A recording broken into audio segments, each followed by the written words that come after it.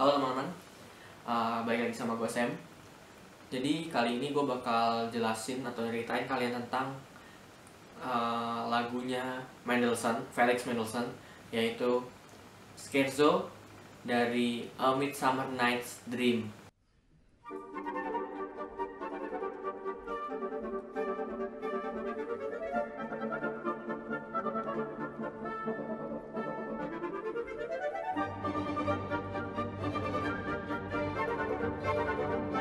Uh, sebelum itu, uh, kalau kalian yang belum tahu Mendelssohn, Felix Mendelssohn, jadi dia itu adalah uh, komposer yang waktu itu sangat dicintai sama masyarakat. Dia itu komposer dari abad ke-19. Dan si Felix Mendelssohn ini lahir di Jerman, di Hamburg. Dia lahir uh, Februari 3 Februari 1809 sampai dia wafat pada November tanggal 4 uh, tahun 1847. Jadi si Felix Mendelssohn ini dia itu uh, kayak Mozart. Se, uh, as we know, si Mozart itu adalah komposer yang prodigi. Si Mendelssohn juga termasuk orang yang prodigi.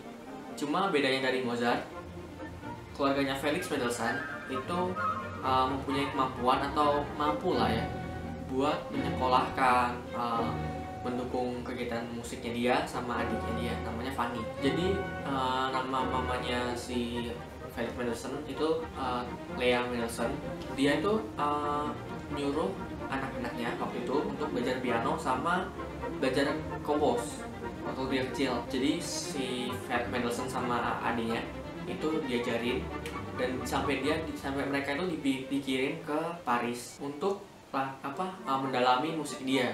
Mereka berdua ini bersaudara ini uh, sempat belajar maksudnya di Paris itu dengan banyak komposer-komposer hebat termasuk Mozart dan Bach. Itu mungkin kayaknya bukan ini kali ya. Itu mungkin kayaknya bukan sama orang yang langsung tapi at least dia tahu detail-detail soal Bach dan Mozart.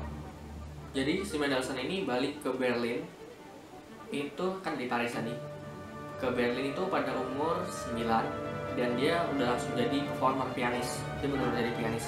Dan waktu terus berlalu si Mendelssohn tuh udah remaja dia bikin simfoni dia bikin opera bikin karya-karya lainnya yang luar biasa untuk umurnya. Masih remaja. Lalu di umurnya ke yang ke-20 dia itu jadi konduktor yang terkenal.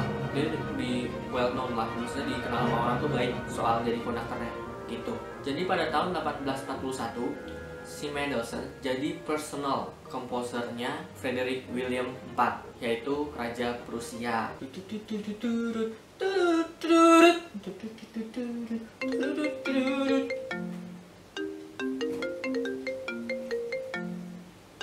Halo, lagi makan sore berendam. Selamat malam Mendelssohn.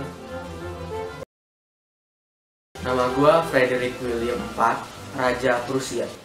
Hah? Ada apa gerangan Baginda menghubungi saya? Apakah ada yang bisa saya bantu? Jadi gini, uh, bisa tolong bikinin musik gak?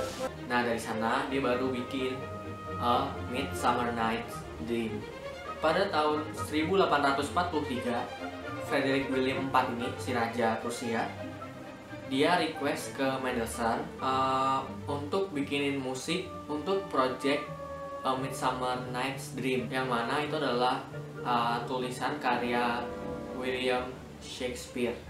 Untuk karya tersebut, si Mendelssohn bikin 14 uh, piece pendek-pendek yang nyesuaiin sama mood operanya. Jadi dia bikin pendek-pendek. Nah, uh, dari rangkaian karya itu ada satu yang namanya scherzo, bagian scherzo.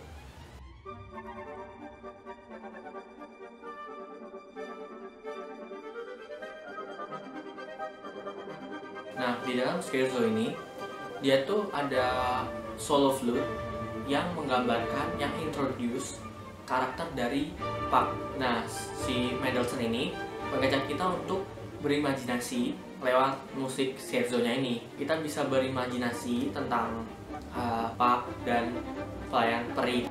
Nah, mungkin di scherzo-nya sendiri cuma intinya sih ya itu doang sih. Soalnya nggak banyak juga yang bisa dicari dan emang inti dari scherzo-nya ini tentang Puck dan uh, Fairy Servant. Nah untuk uh, sisi musikalnya sendiri, uh, ini memiliki tangga nada G minor dan untuk teksturnya dia itu campuran dari homofonik dan polifonik. Instrumentasinya itu uh, full orkestra, temponya allegro vivace. Mungkin cukup sekian untuk uh, scherzo ini. Goodbye.